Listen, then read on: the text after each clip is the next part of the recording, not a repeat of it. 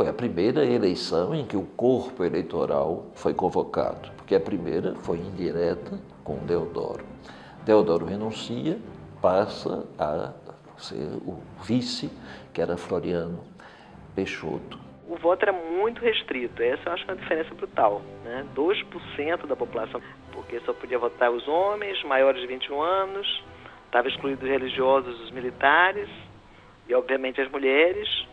Embora até interessante, porque não tinha uma cláusula sobre as mulheres, mas não eram percebidas como cidadãs. E, sobretudo, quer dizer, o corte brutal era a questão do analfabetismo, né? Esses não podiam votar. Curiosamente, até no final do segundo império, nós tínhamos mais eleitores inscritos, mais adultos inscritos do que na Primeira República. O fato é que no Império, em boa parte dele, só no final que não, os analfabetos votavam, né? É bom lembrar que a elite política da época, os, os donos de fazenda, os grandes proprietários, é, boa parte deles eram analfabetos, né? A ideia de que a elite é, é letrada é muito recente. Os partidos não tinham, insisto, o monopólio da representação. Isso só vem em 45. Hoje você só pode ser candidato por partido político. Naquele tempo, não. Um chegava e tinha 900 e não sei quanto mil. Segundo lugar, Lauro Sodré, 40. Depois o outro, 30. Depois o outro, 20. E daqui a pouco, poucos.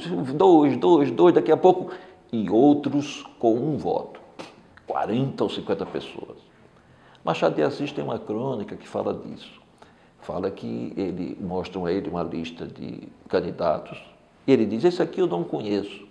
Aí o amigo que está com ele diz, não, é um amigo da rua, nós quisemos fazer uma homenagem a ele, quer dizer, cinco, seis votos. O sujeito votava nele próprio.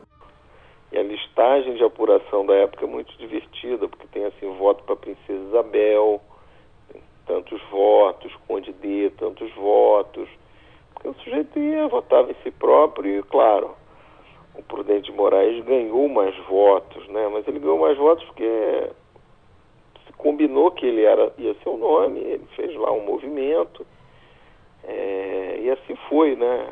Era, uma forma diferente de fazer escolha de representante. Temia-se muito que Floriano não aceitasse entregar o cargo, mas acontece que houve a revolta da Armada ligada àquela, república, àquela Revolução Federativa do Rio Grande do Sul, e São Paulo ajudou a enfrentar.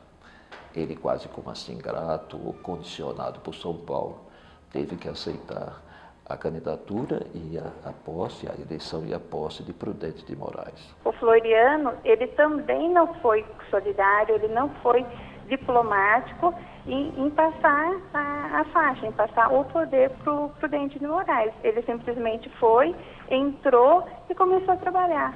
Sem essa recepção, sem, sem a, o grande evento, né, de se passar a faixa eleitoral, a faixa do, do cargo da nação de um, de um governo para o outro. Isso, isso não ocorreu. O Itamaraty, que era a sede do governo, estava realmente às moscas. O Prudente de Moraes teve que alugar uma, uma, uma charrete, uma, uma, uma carruagem para que o levasse até o palácio. Né? Chegando lá não, não tinha realmente ninguém, porque essa foi a pirraça do Floriano Peixoto.